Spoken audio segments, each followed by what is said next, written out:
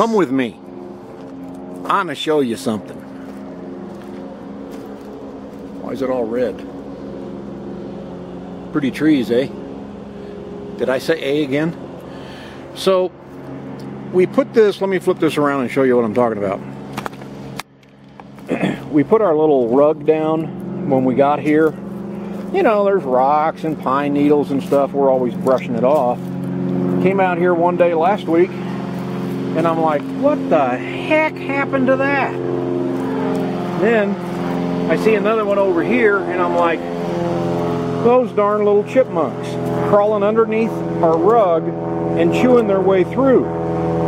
And then this morning, this chair was over here on top, you know, like leg was right here. And I come around this side of it. Look at all the rocks that they've thrown up onto here from digging through that dang hole. So they've chewed three holes, they've crawled underneath, and instead of crawling back out, they're crawling through. It's amazing. So today I'm going to clean this off, put it away, maybe try to patch that with some duct tape, the miracle adhesive. I see you back there. Lori's not feeling well. Get back in that house.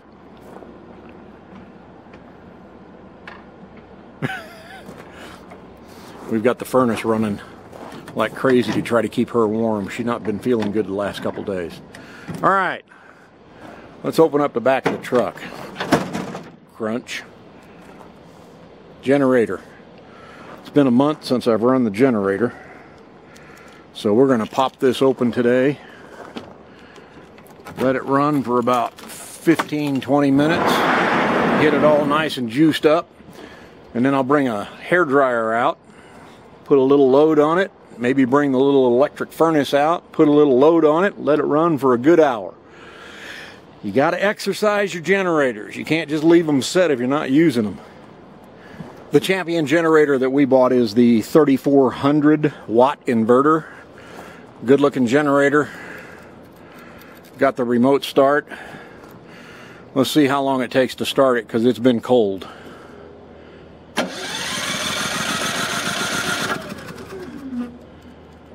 There's one.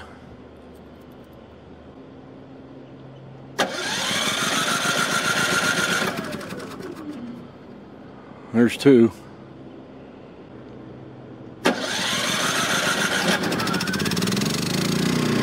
Not bad. Oops.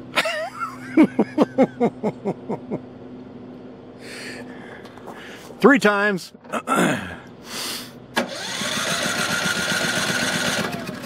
Come on, baby. Is it gonna go? Little smoke.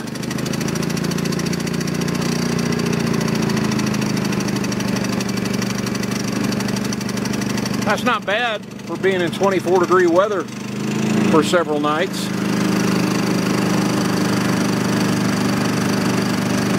Not too shabby. We'll let it run a good hour and put it, like I said, put a load on it, give it some exercise since we don't use it here at the campground because we have full hookups. And yes, I have it sitting in the back of our truck. We actually have it chained into the bed of the truck. And really, we don't ever need to take it out except on rare occasions because we have enough uh, power cord from the rig to reach it. And that way we don't have to leave it set underneath the rig for any reason. We're gonna go put a load on the generator. Got my furnace. For about, uh, I decided 30 minutes. We'll let this puppy run. Jump up here.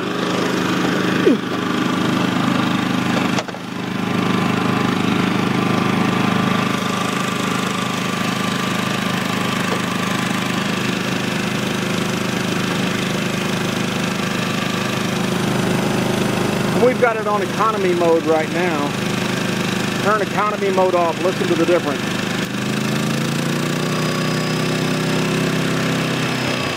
Leave it off. Heat up the outdoors. And listen to this thing.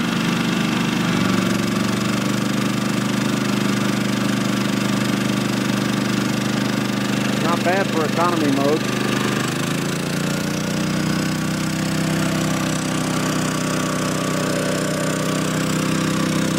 So we'll let that run for about 30, 35 minutes with the uh, load on it like that, and that should give it enough exercise for this month. Just always remember, exercise your generator. Let's go see how the generator's doing. It's been an hour.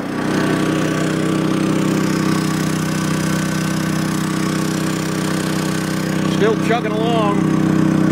Got my handy dandy remote. Let's turn off the furnace first.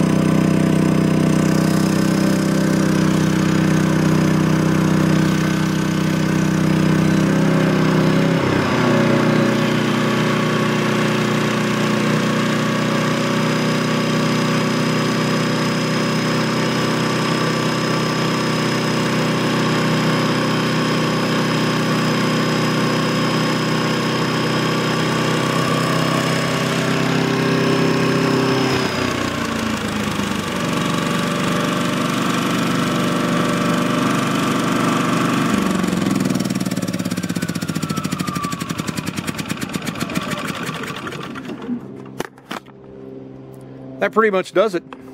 Got to exercise that generator. I'll check the gas, make sure it's still full, uh, full of fuel, and uh, log the hours, the hour that we ran this with a load on my little logbook, and keep track of it. And that way I'll know exactly when I need to change the oil on the darn thing. Hey, What? aren't you supposed to be scanning in pictures instead of bird watching? Yes, sir. I can't help it. They come down here, and I have to find out what kind of birdie they are. They're not there now. Oh. The chickadees were there, and of course the Steller's jay was there.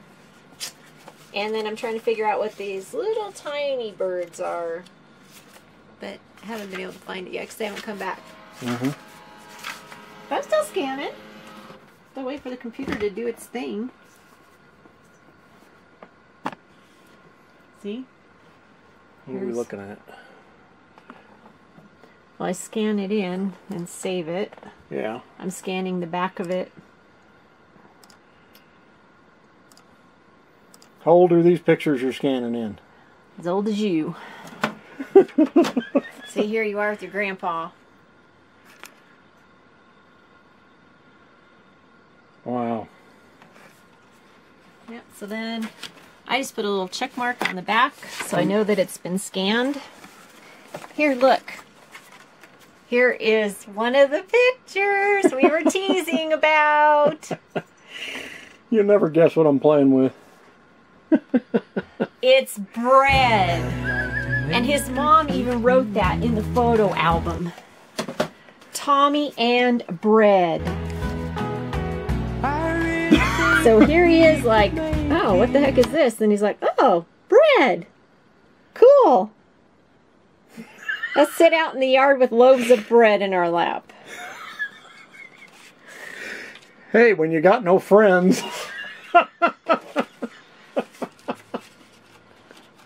Well, you have a friend here. It's you're- not funny. You're playing with a little girl here Uh in huh. these Yeah. pictures. Goodbye. Time to time to go. So right now we're doing a bit of autumn cleaning. So we're going through this box that we got had at mom's and I'm scanning pictures in and we were finding all kinds of documents and stuff that um, from Tom's family and everything. And this piece of paper right here is um, it says to be handed into nursery the day before going home said that formula recipe may be filled in. Okay, so it says St. John's Hospital, name Giamanco, and it has the date and the time and the length and weight and dismissal weight and all that, you know, for for Tom to be let out of the hospital when he was born. So right away in the first paragraph it says a message to parents. The training of a child starts at birth because everything that happens to a baby from the moment he is born influences the kind of a person he will be. Well, that explains a lot. Voila! so they send home this whole thing and how to care for your baby and bathing the baby when is a good time. Then we also found this little report card thing. Isn't that cute? It's got like little pictures and there's either an what is it? An X. An X is satisfactory development. A dot shows improvement and a check mark needs to improve. So he's got a lot of X's here, which is which is good. It means satisfactory, especially in the uh, it's the I like music.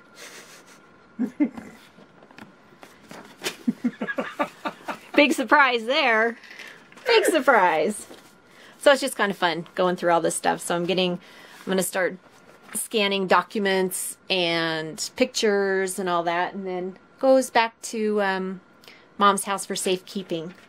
Something else we found was um, this document here um, in memory of Tom's biological dad, Sam Giamanco.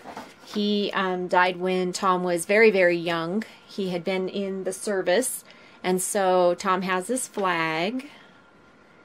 He um, he had cancer, right? Mm-hmm. Yeah.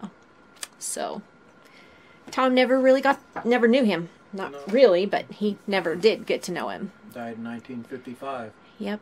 Tom was just a little. I was like a year old, Yep. a little over a year, You're almost two years old. year and a half. Yeah, well, because October and your birthday's in December. Yeah, but we never celebrated it until February. His birthday is December 15th, so it's 10 days before Christmas. so when he was little, his birthday was in February. Yeah. So it was separate. My mom's like, "You're not having a birthday in December. We'll celebrate in February." So it was like they decided, you know, oh, let's do it every, let's do it on leap year. That way, we only have to celebrate his birthday once every four years. Once, I didn't have very many birthdays. once again, I repeat, the I'm a lot younger than I look. the training of a child starts at birth. so just having some fun, scanning in pictures.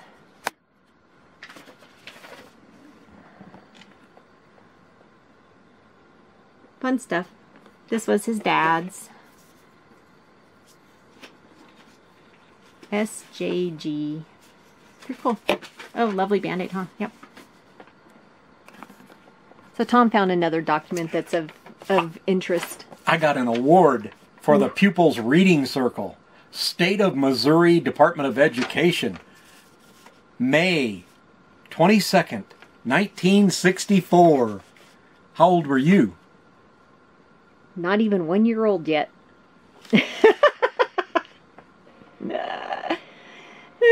Go ahead, continue. Read. Prove that you deserve that award. I'm done. what else you got there? Um, St. Louise de Marillac, my grade card That was- from the first grade. That was a Catholic school you went to in St. Louis, Yep. right? Yep. Reading level A. Oh, that's the first report. So first quarter. Second quarter. B. Third quarter. C. Fourth quarter. A D. Those were the letters that you were learning, probably.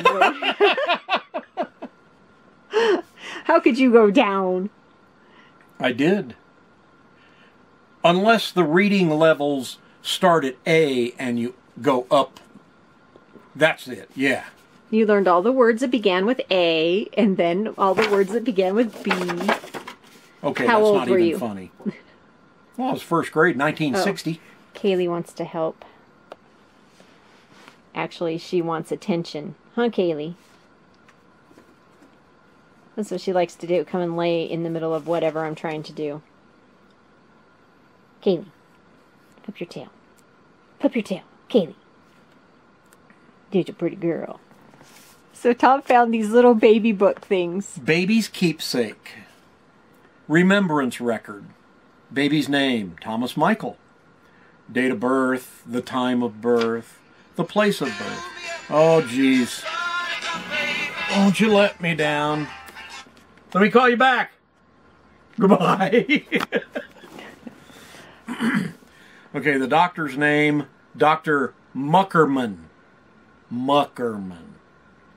Seven pounds, 11 ounces. Remarks. And this is written by my mother, handwritten. The remarks lots of straight black hair. Ugly but mine.